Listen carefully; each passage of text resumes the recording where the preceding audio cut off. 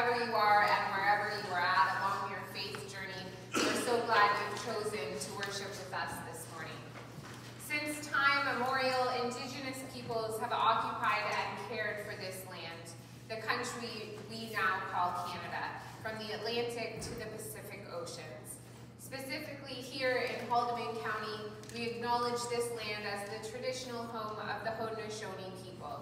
As a community of faith, we seek to rebuild right relations with all of God's people, to learn from one another and to live with respect and gratitude for all of creation.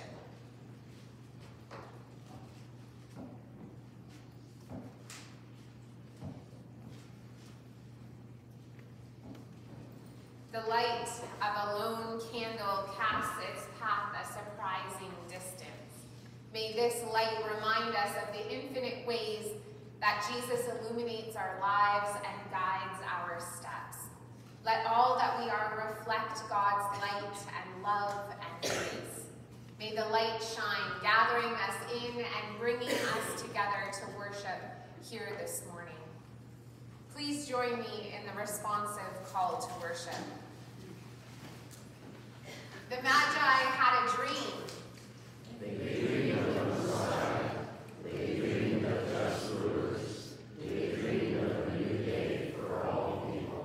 The Magi had a dream, and this dream led them to action.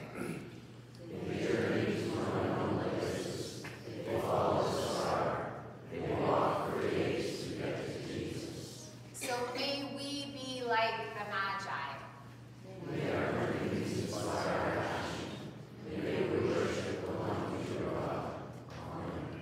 Let's pray. God, we love to worship you when the stars are bright above us. We love to worship you when the sky is clear and the breeze just right. We love to worship you when the journey to Bethlehem is an easy one. Unfortunately, as you know, this journey of life, love, and faith is rarely easy. Now and again, the stars disappear. Blisters form on our feet, and the journey is far too long and lonely. On these days, forgive us for giving up quickly. Forgive us for allowing the dream to die and for taking the shortcut home. We want to be as brave as the Magi. We want to persevere. Guide our feet. Show us the stars. We are walking towards you, O God. Amen. Let's join together in singing our opening hymn, A Light is Gleaming. The words will be on the screen and they're also in the hymn book number 82, A Light is Gleaming.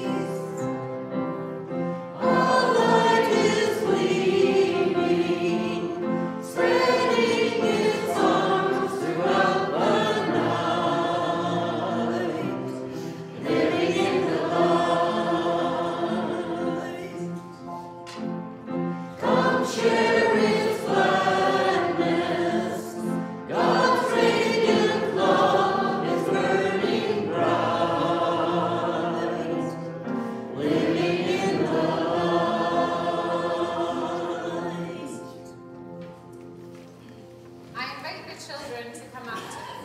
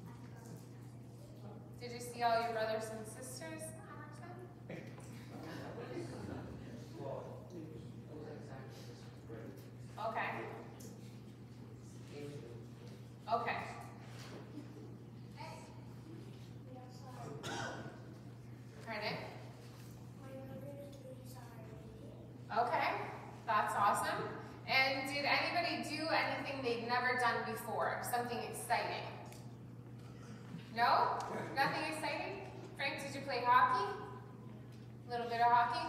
What did you do that was fun? We got a, mostly a lot of when we were at our games, she just let us pick out a lot of toys and stuff.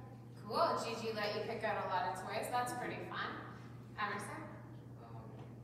And we skate and half of the was hockey and it was really good. So I. Have you played net before? Well, yeah. Okay. So Emerson's family, I think, rented some ice, and so they- some folks skated and some folks played hockey. That sounds fun. What were you gonna say? That we also saw our over. You saw your Oma too? Awesome. And what were you gonna say? Oh, that, uh, on, on, my birthday was on New Year's. Your birthday was on New Year's. That's exciting. And how old did you turn? Seven You turned seven on New Year's. And what's your name again? miles. Miles.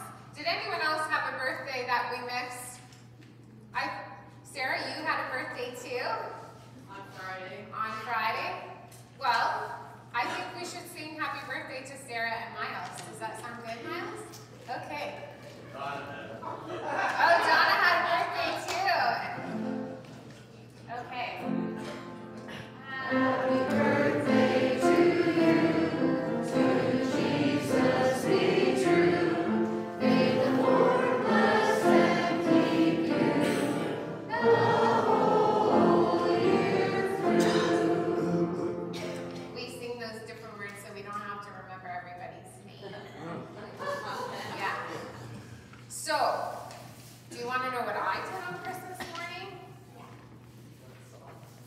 get, oh, I got lots of socks for Christmas. Everyone knows I love socks. But on Christmas morning, I went fishing. Dan and I went out on the boat with our friend Matt, and we left Port Maitland about 7 o'clock in the morning, and we didn't come back until noon. Why do you think we stayed out so long? Did you go catch a fish? No? Why do you think we stayed out? Because we wanted to catch a lot of fish? Well, we were going to come in a little. What were you going to say, Miles? You were catch a bunch of fish, which you can't, you can't get, get them if they're pregnant, because then you're not gonna have more fish. That's right. That's right. You don't want to take take too many fish because we want them to keep producing. That's right. So we were going to come in a little bit earlier, around 11 o'clock. But what do you think happened that made us stay out? Nope, there, we were the only boat on the whole lake, I think. What do you think happened? Nope, it didn't snow or rain. It was so warm. We took off our winter coats. We were having the best time, and we were catching fish.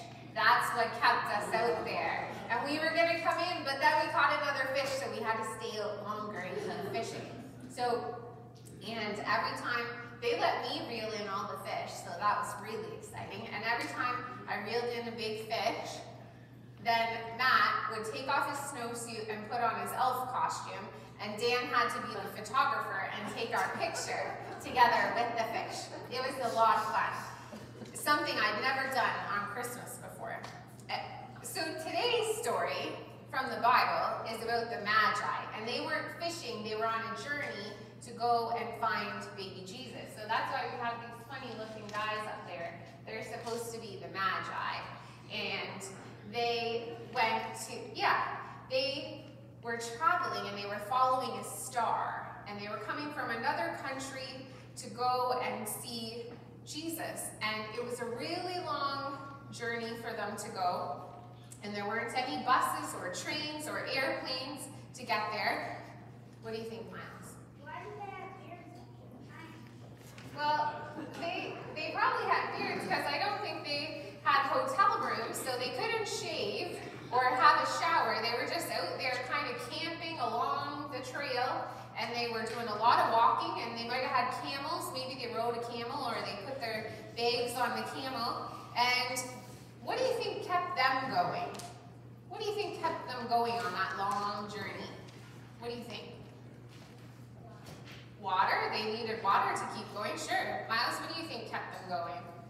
Uh, the star is flying the sky very fast. The star. Yeah, they kept following the star, and the promise that the star was over, hanging over where Jesus was.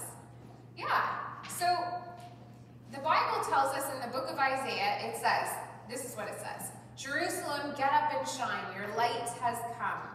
The glory of the Lord shines on you. Darkness now covers the earth. Deep darkness covers her people, but the Lord shines on you, and people see God's glory around you. God keeps shining on all of us to show us the way and to remind us that the good news of Jesus is important. So I wonder what keeps you going when you're doing something important. What keeps you going? Miles, what keeps you going? Oh, our, uh, you know, book, Anywhere. uh, typical bookstore book, Okay. this book on Yeah. Freya, what keeps you going? What keeps you dancing? Yeah. Well, like, Yeah. What were you gonna say? say, what, what keeps me going is games. Games, yeah. Joy, fun things keep you going. It's kind of a hard question. What keeps us going? What were you gonna say? And the reason why we're going. The reason, the reason why you're going. Those magi, their reason for going was to meet Jesus, right? And so that kept them going even though the journey was hard. So those magi were probably wearing sandals. Those ones don't have any feet, but they were probably wearing sandals because in Bethlehem it was pretty hot. We're not wearing sandals anymore because it's cold outside, right? Nobody's wearing sandals. I hope nobody's wearing sandals. You're wearing socks. What do you got on under your boots, Freya? You got socks on in there? Miles, you got socks in those boots? Okay, good. Because there's some folks that don't have socks in their boots, or maybe they only have one pair of socks and they need some more pairs of socks. And so we invited everyone to bring socks to church today. Because what did the Magi bring for Jesus? Does anyone remember? They brought three gifts, the Bible tells us. Anybody know what they brought? Freya, do you know what they brought? One thing? No socks. Miles, do you know what they brought? Yeah? What do you think? Sandals. No? Emerson, what did they bring? Gold, myrrh, frankincense. Gold, myrrh, and frankincense. I'm not sure those would be super helpful gifts right now, but I know that socks are always thoughtful and appreciated gifts. So we've invited everyone to bring socks today, and we're gonna take them and give them to people who need some warm socks for their feet. And we're gonna collect them in a pretty fun way. I brought my hockey helmet today, and I'm gonna put it on. So does everyone have, do you all have socks to throw? Yeah. Okay. Is there anyone who doesn't have socks to throw? I have a few extras.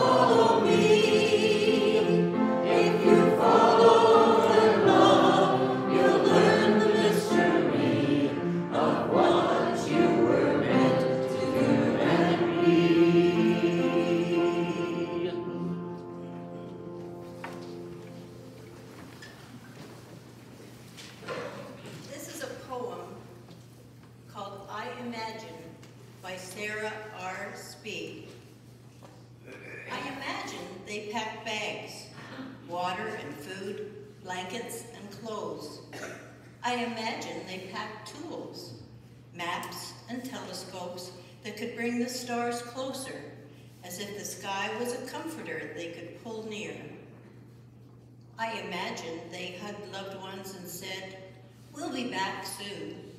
And when loved ones said, don't leave, it's risky. You don't even know what you're chasing. I imagine they put lips to foreheads and said, there is a light in the darkness. I must chase that. And then I imagine they walked. I imagine they walked until legs were tired and knees gave out. Maybe they told stories on the road and laughed into the open sky. Or maybe they sat in silence and prayed for more light. However the road unfolded, I imagine it was not easy. I imagine all this, not because I've chased stars, but because I have dreamed. And these dreams for justice make the Magi story my own. For every time we fight for justice, we start in the dark. We hug loved ones and say, there's a light in the darkness. I must chase that. We walk until we're tired, and then we keep walking.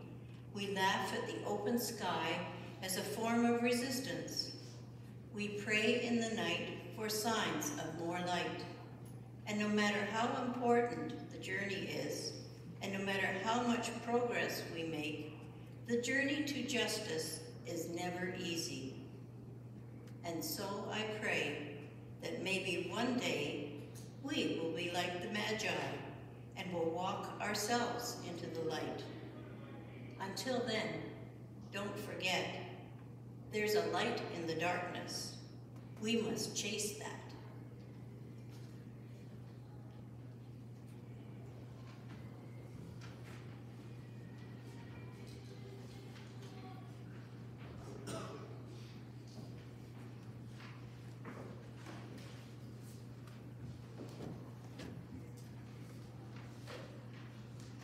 This morning's scripture is Matthew 2, 1 to 12.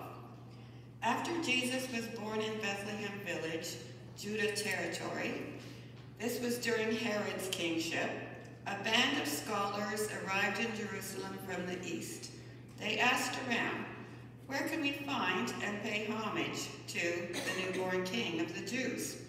We observed a star in the eastern sky that signaled his birth. We're on pilgrimage to worship him. When word of their inquiry got to Herod, he was terrified. And not Herod alone, but most of Jerusalem as well. Herod lost no time. He gathered all of the high priests and religious scholars in the city together and asked, Where is the Messiah supposed to be born? They told him, Bethlehem, Judah territory. The prophet Micah wrote it plainly. It's you, Bethlehem, in Judah's land, no longer bringing up the rear. From you will come the leader who will shepherd, rule my people, my Israel. Herod then arranged a secret meeting with the scholars from the east. Pretending to be as devout as they were, he got them to tell him exactly where the birth announcement star appeared. Then he told them the prophecy about Bethlehem and said, Go find this child. Leave no stone unturned. As soon as you find him, send word, and I'll join you at once in your worship. Instructed by the king, they set off. Then the star appeared again, the same star they had seen in the eastern skies. It led them on until it hovered over the place of the child. They could hardly contain themselves. They were in the right place. They had arrived at the right time. They entered the house and saw the child in the arms of Mary, his mother. Overcome, they kneeled and worshipped him. Then they opened their luggage and presented gifts, gold, frankincense, myrrh. In a dream, they were warned not to report back to Herod, so they worked out another route, left the territory without being seen, and returned to their own country.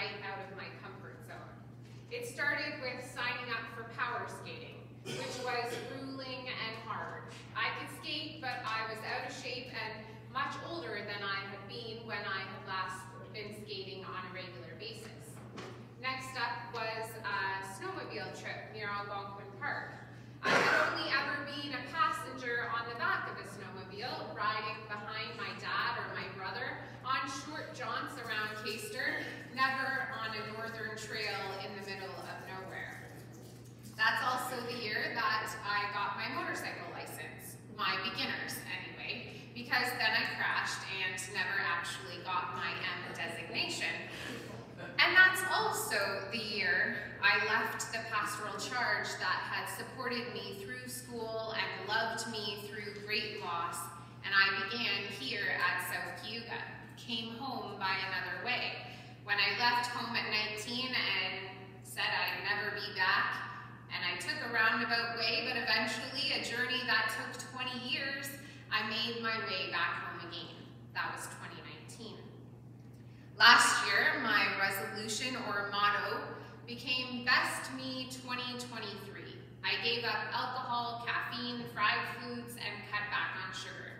I went to the gym, I took vitamins, I took time to do things that fed my soul, like fishing and hunting and quadding and bird watching and reading, a total of 58 books. And this year I have committed to more 2024. More sleep, more music, more tea, more books, more sunsets, more creating, more long walks, more laughter, more hugs, more dreaming, more road trips, more fun, more love. I posted that on Facebook and someone said, I'm missing more fishing. But that list was pre-written. I didn't write it myself. It was written on an image that I'd seen online. And I loved all of the things that it had included, especially more dreaming. Considering that our entire Advent season this year had been based on the theme, those who dream. And yet, when we got to Christmas and moved beyond it to Epiphany, the theme continued with the Magi responding to a dream, a dream which sends them off course and home by another way. What a dream they must have had to make them find a different route. Rather than retracing their steps and going back the way they'd come, but to turn right instead of left, head south instead of north in order to avoid Herod the Great or King Herod, the Roman ruler of Judea, who had asked the Magi to send word once they had found Jesus. What a dream it must have been for them to be so sure of their decision that they wouldn't risk running into him his followers. Which made me think of this poem by Joyce Rupp called Old Maps No Longer Work, which seems like it describes the plight of the Magi, but also perhaps it could describe each one of us as we are only seven days into a brand new year of a 365 page book of blank pages. I keep pulling it out, the old map of my inner path. I squint closely at it, trying to see some hidden road that maybe I've missed, but there's nothing there now, except some well-traveled paths. They have seen my footsteps often, held my laughter, caught my tears. I keep going over the old map, but now the roads lead nowhere. A meaningless wilderness where life is dull and futile. Toss away the old map, she says. You must be kidding, I reply. She looks at me with Sarah eyes and repeats, toss it away. It's of no use where you're going. I have to have a map, I cry. Even if it takes me nowhere, I can't be without direction. But you are without direction, she says. So why not let go? So there I am, tossing away the old map, sadly, fearfully, putting it behind me. Whatever will I do, wails my security. Trust me, says my midlife soul. No map, no specific directions, no this way ahead or take a left. How will I know where to go? How will I find my way? No map.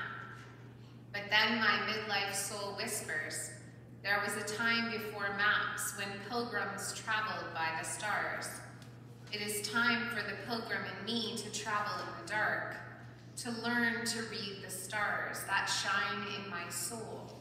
I will walk deeper into the dark of my night. I will wait for the stars, trust their guidance, and let their light be enough for me. May the light of the stars guide us this year, just as they led the Magi to Jesus. And if we need a tighter turn or even a U-turn, may God's guidance come in the form of a dream too powerful to ignore. Trusting that God's dream for us is a dream of hope, a dream so strong that it manifested in a child born in Bethlehem over 2,000 years ago. Hope gives us the strength to live on in the world even when our dreams are crushed. When where we thought we were going or how we thought we were going to get there gets turned upside down and we're lonely and afraid. Don't give up on your dreams. Turn them into prayers of grounded hope. And if your dreams are dashed, know that God is with you, that God's hope surrounds you and uplifts you, and that God's plan is always filled with hope. Let's sing. I think we'll stay seated this time as we sing together the first Noel, number 91.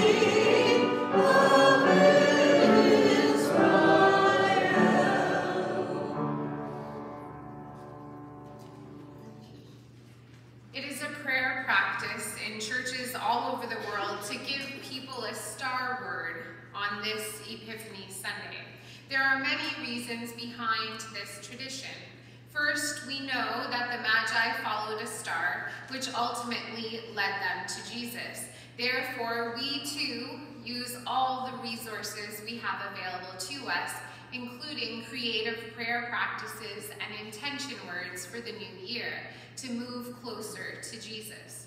Secondly, we trust that God uses multiple ways to guide us and to speak to us. Star words are one such lens that might provide us with a way to look for God in our midst, both actively and in hindsight. And finally, we know that the most common prayer practice for many involves speaking to God as opposed to silence or contemplation. However, this prayer practice invites a new prayer rhythm of reflection and review that can be a powerful new way to connect with God. So in just a moment, you will be invited to come forward and to draw a star word. However, as we prepare our hearts and minds for this centering moment, let's first pray. Let us pray. God of starlight, there has always been something holy about stars for us. We wish on them, we look for them, we celebrate when we see them streaking across the sky on summer nights. We map out their designs and consider glimpses of the Milky Way holy enough for bare feet. There has always been something holy about stars. We know that, you know that, the Magi must have known that. So today, Holy God, we come to you in prayer, trusting that if you can paint the stars in the sky, then surely you can hear us over the noise of this world. So first, we pray for people wishing on stars. We pray for those for whom 2023 was a year full of hospital rooms or isolation. We pray for those who have lost love in 2023.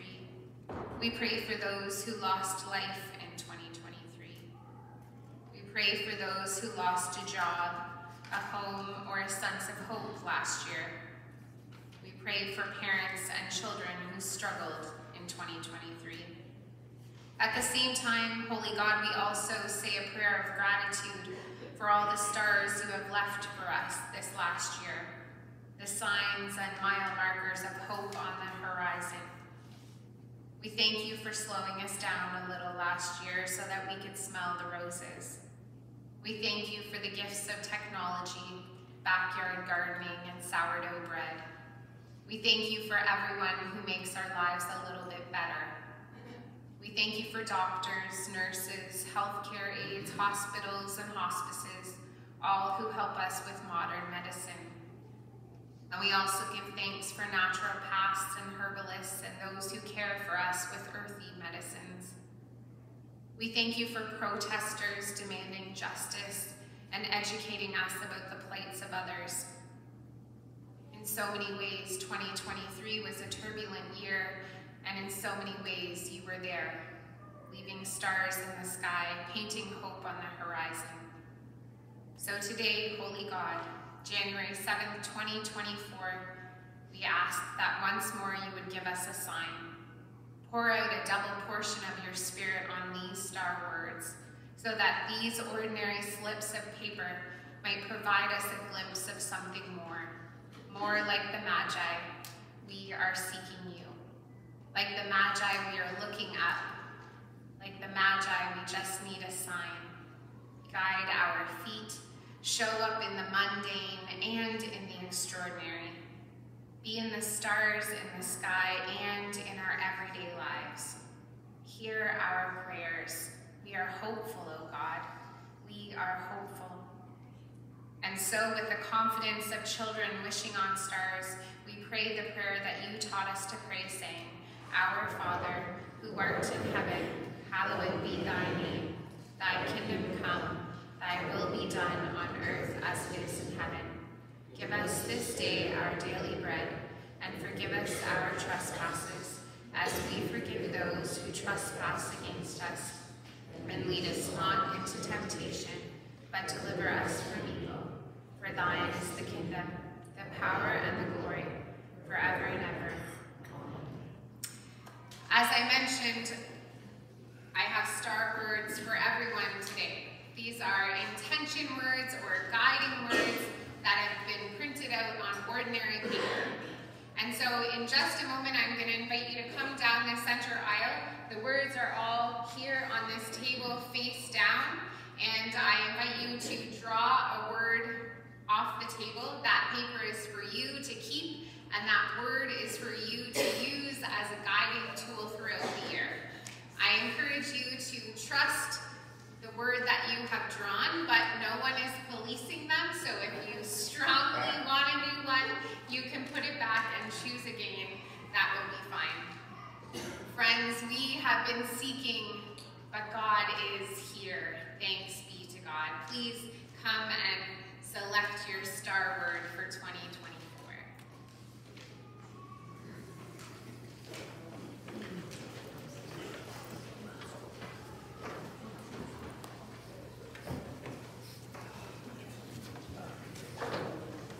Hi there. How are you doing?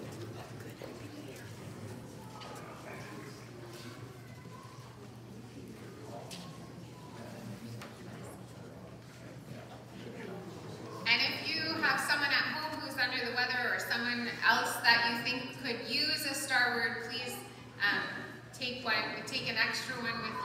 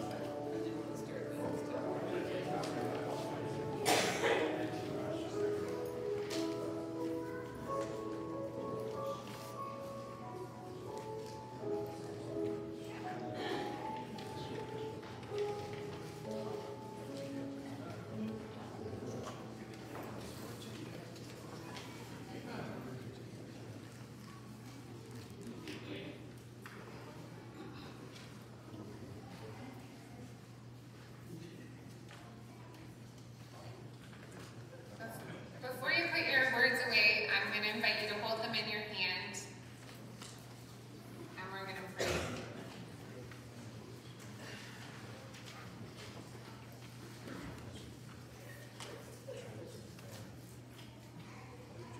Let's pray. God of ink, black skies, and starry nights, like the Magi so many years ago, we are here seeking. Step by step, we have wandered into this space with the hope of feeling you in our midst. And step by step, you have claimed us, loved us, and fed us. Today, we have all drawn star words. For some of us, these words are full of meaning, challenge, and invitation already. For others, these words are a blank canvas, inviting you into our lives. So as a new year dawns, we pray that you would be in our dreams and in our waking. Allow us to use these star words as a tool to see you in our everyday life. May they guide us as the star guided the Magi. May they illuminate your path as light always does. And in a year, may we find ourselves here together again with mouths full of praise for the ways in which you have been present to us. With hearts full to the brim, together we pray. Amen. Let's take a quick look at the announcements. It's a busy week here as we rev back up into the thick of things. The lunch bunch is meeting at Bob's this Sunday at 12:15. I won't be there. I have a funeral in Smithville um, for George Travis on Tuesday, but lunch bunch will go on without me. So if you're free on Tuesday at 12:15, please head over to Bob's. I'm sure Howard will be there with the table ready for you. Wednesday, UCW here at noon, and Thursday evening, Joyful Noise practice. If you didn't get enough sweets over the holidays, there's still some sweet tarts for sale. And we can get those for you after church. Please stay for coffee and fellowship. We'd love to have you. Are there any other announcements folks would like to draw attention to? All right, let's sing our closing hymn. Arise, your light is come, number 79.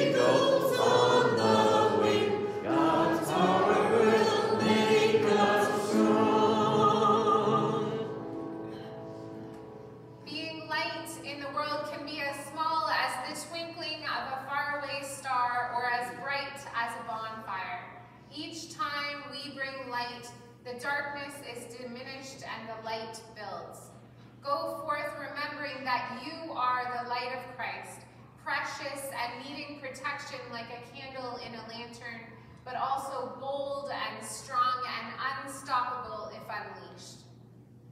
We are the light of the world. Little signs of love, hope, joy, and gratitude sent out into the world to do good, to be good, and to remind the world that in the words of Desmond Tutu, we were all meant for more than strife. So as the Magi were welcomed into the nativity scene, may we welcome the light of Christ into our hearts and bear it boldly and bravely each day. Amen.